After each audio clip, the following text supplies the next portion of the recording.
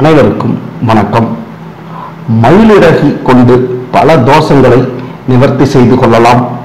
அவ்வாறு எந்தெந்த தோஷங்களை மயிலிறகி கொண்டு நிவர்த்தி செய்ய முடியும் என்பதை பற்றி தெரிந்து கொள்ளலாம்.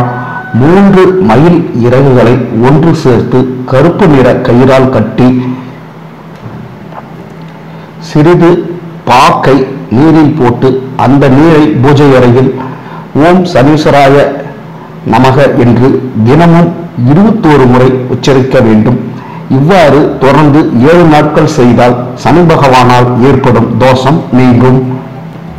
வீட்டில் உள்ள வாஸ்து தோஷங்கள் நீங்க எட்டு மயிலிறகை இறகை ஒன்றாக சேர்த்து ஒரு வெள்ளை நிற கயிற்றினால் கட்டி பூஜை அறையில் வைத்து ஓம் சோமாய நமக என்ற மந்திரத்தை உச்சரித்து வர வேண்டும். நகை மற்றும் பணம் வைக்கும் அலமாரியில் ஒரு மயிலிறகை வைக்க வேண்டும். இதனால் அந்த அலமாரியில் செல்வம் சேர்வதோடு நிலைக்கவும் செய்யும். மயில் இறகை வீட்டின் முன் வைப்பதன் மூலம் வீட்டினுள் எதிர்மறை ஆற்றல்கள் நுழைவதை தடுப்பதோடு வீட்டிற்குள் இருக்கும் எதிர்மறை ஆற்றல்களை வெளியேற்றவும் செய்யும்.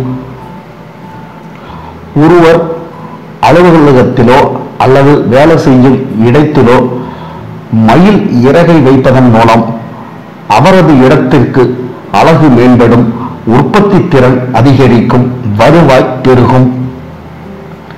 திருமணமான தம்பதியர்கள் தங்களின் படுக்கை அறையில் மயில் இறகை வைப்பதன் மூலம் தம்பதியருக்குள் பிரச்சனைகள் நீங்கி அந்யோன்யம் மற்றும் புரிதல் அதிகரிக்கும்.